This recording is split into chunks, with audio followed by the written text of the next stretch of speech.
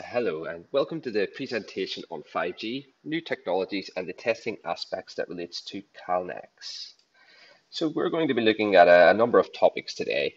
So first we're going to look at transport and synchronization in the network, the changes in network architecture, and then finally the testing challenges involved and how that relates to Calnex. So one of the key changes with 5G is in terms of the transport network and how it changes.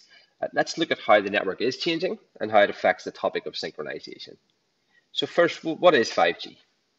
So 5G is intended to deliver three separate aspects. Um, the first is an enhanced experience for mobile broadband, but also potentially a replacement for home broadband as a fixed wireless service. We have the Internet of Things, or massive communications of millions or billions of devices. And then finally, 5G is intended to deliver ultra reliable, low latency communications for new applications that we haven't even thought of yet. So, in order to deliver higher bandwidth, millions of devices, and completely new services, we need a new thinking in terms of the architecture of the network. The main part of the transport network that is evolving is, is the front haul. The front haul network was originally conceived as a simple fiber optic connection between a baseband unit and a radio unit. This was intended to replace the BTS or the base station equipment that was connected up to the antenna via coax cable. The benefit of doing this was to split the baseband and the radio functionality and be able to connect that up by fiber using a CPRI connection. The idea then developed of being able to take the baseband units further away from the radio in a baseband hotel in a switching or data center where all the baseband units were housed and then separate connections out to the radio units. So now the separate connections went from being a few meters up to potentially a few hundred meters or even kilometers. And then in the future with 5G, the split between the baseband units is taken further by splitting up the baseband unit into the central unit, the CU, and the distributed unit, the DU. The ability to split this gives more flexibility to the network. Now, the other thing that is happening is that you have a lot more traffic to be handled by the radio unit. So these two challenges of splitting up the network and the ability to handle more traffic needs a new approach. And one of the key approaches that's being looked at is really to migrate these links from CPRI, what's called eCPRI or CPRI, or radio over Ethernet. Ethernet gives that flexibility of being able to provide switching in that front haul network it also allows the bandwidth to be better handled by splitting the functionality of the units in that front haul network.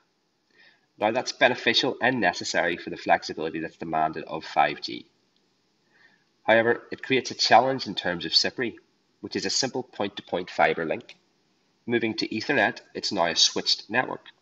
For something like synchronization, moving from a dedicated point-to-point -point fiber to a switched Ethernet network provides challenges which need to be addressed and that's where Calnex comes in. So the eCPRI retest challenge. So as we have just shown, the network has moved from a dedicated fiber to a switched Ethernet. In addition to synchronization, it also presents different challenges because Ethernet networks by de definition have latency, loss, jitter, reordering, corruption, and so on and so forth. So bad things happen to packets in an Ethernet network. That's something we already know. Well, first of all, CPRI, mess- CPRI control messages, the radio control messages between the baseband unit and the radio unit, can be sensitive to delay and things like latency, loss, and reordering. And why is that? So, because this was designed to work uh, on a dedicated fiber link, now they're having to go through an Ethernet switched network. The control and management radio messages need to be tested and verified for the front haul with controlled latency and loss with what we call a network emulator. The other challenge is that there are emulators available in the market, but many of them have lower rates, uh, and it can be very difficult to emulate a network and achieve that, that high level of performance. So I mentioned that many emulators only operate at lower rates, and that is an issue with the front haul. So most of these front haul interfaces are moving from 1G to 10G and 25G and potentially up to 100 eventually. So any testing that you do emulating packet network effects has to employ a network emulator that also works at those higher speed rates all the way up to 100 gig. And of course, we need to emulate that for the core, which is potentially 100 gig already. And then finally, the other aspect is that synchronization is carried on this link very often using this physical sync E clock. So the sync E clock must be passed through the emulator, and that's what the A100 product from Calnex delivers. This is a 100 gig network emulator, which really emulates things like latency, lost packets and reorders and corruption, you know, all the things that you would see in an Ethernet switch network in the front haul. This could be emulating the link either between the central units and the distributed unit, or the distributed unit and the radio. And the reason for doing this, remember, is to test that all of these control messages between the baseband unit and the radio are still working in the presence of these Ethernet network effects. So all of these uh, testing challenges can now be overcome using the, Calnex Attero 100 gig network emulator. This is a, a network emulator with speeds up to 100 gig and beyond that can accurately emulate the latency, loss, jitter, reordering, um, that you would see in the front haul. So this could be emulating the link between the CU and the DU or the DU and the radio to test that the control messages between the BBU and the radio are still working in the presence of their network Ethernet effects. So Calnex has a product that works up to 100 gig. It also supports SyncE pass-through, which is incredibly important for testing um, eCPRI fronthaul. Um, and can also filter specifically on eCPRI and radio over Ethernet messages to impair and corrupt a set of network profiles which represent the typical fronthaul network, making test cases significantly easier.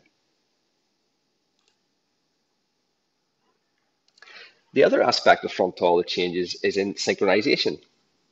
Sync demands for 5G new applications are, are now much greater. So remember that better sync and accuracy allows for more services and better performance over the radio. So a new class of clocks for SyncE and PTP are being developed. These clocks can have limits as low as 5 nanoseconds for performance and network limits as low as 100 nanoseconds for performance. This is the next generation of accuracy, and these new clocks are being specified for 5G. So to compare the classes from 3G and 4G, class A and B boundary clocks, to the new enhanced clock specs for 5G, class C and D boundary clocks. So in this example, the PTP boundary clocks are going from time error performance of 50 nanoseconds to 10 nanoseconds or better. So that's a significant undertaking for equipment manufacturers to achieve this performance. And of course, a significant undertaking uh, for testing to meet this better accuracy, uh, which is what Calnex have done with the Paragon Neo, which has the accuracy and repeatability required to test Class C and D boundary clocks and transparent clocks. The group that's looking at synchronization requirements are, are called the ITUT. And let's just take a, a quick look at the ITUT standards. So the ITUT developed a series of recommendations and standards for testing and network performance for the initially for frequency deployment over synchronization, and then for time and phase for 3G and 4G, as well as the fundamental 5G requirements, and then the enhanced specifications for the more accurate timing. Uh, the overall key message here is that the timing and synchronization products from Calnex support the testing of your equipment or network to all of these ITUT recommendations. And then the other aspect is that the synchronization is going to become more demanding and more accurate. And again, the next generation of test equipment, the Calnex Neo, um, can address these enhanced requirements. So let's take a, a, quick look at some of the enhanced testing requirements that can be tested with the Paragon Neo. So the Calnex Paragon Neo is the only test equipment on the market that can accurately and reliably test the latest enhanced standards for 5G. The key here is there are now a number of new network clocks that to be able to generate a relative time error of 260 nanoseconds across radio units. So all of these enhanced standards for the PRTC, for the boundary clock, the slave clock, network limits, and enhanced EEC, including those tight timing requirements on the EEC, uh, the 7 nanoseconds on the MTIE, and 640 picoseconds on the TDEV.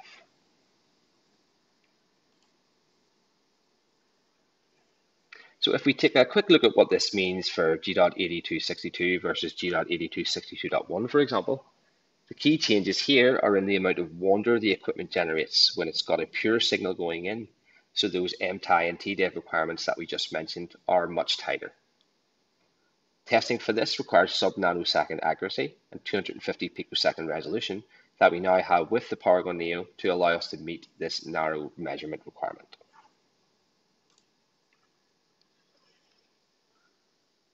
So, uh, just a quick summary of the NEO. The NEO is an instrument that covers speeds from 100 megabit to 100 gigabit and beyond. The key thing here is the accuracy. As I mentioned previously, the NEO has sub-nanosecond accuracy, 200 picosecond resolution, and that includes timestamp resolution of the PTP engine itself, which is essential for testing Class C and D devices. The NEO has a browser-based GUI that can run on any browser and includes full automation functionality. The other big change is the NEO now has a test case driven workflow. For example, if you want to run a G.8273.2 noise generation test, the Paragon Neo will automatically set up the CODES configuration relevant to the selected standard. And I will show a, a brief representation of this. So as you can see here on the left-hand side, we, we would simply choose the test. And in this case, uh, in this example that we're using, this is a G.8273.2 Class C slave clock. Next, we would select the, the test section. In this case, it's a conformance test, G.8273.2 noise generation. We would simply select generate the stimulus and the measurements uh, are selected automatically based on the profile selected. We start the test and the results will be generated automatically using uh, our tools such as CAT and PFV.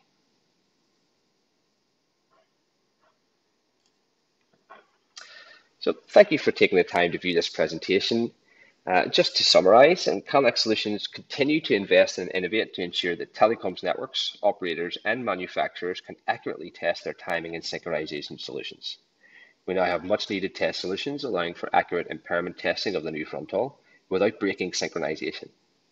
Calnex have also developed the industry leading Paragon line with the new Paragon Neo device, the only solution on the market that can reliably and accurately test the latest 5G enhanced standards. Thank you for your time.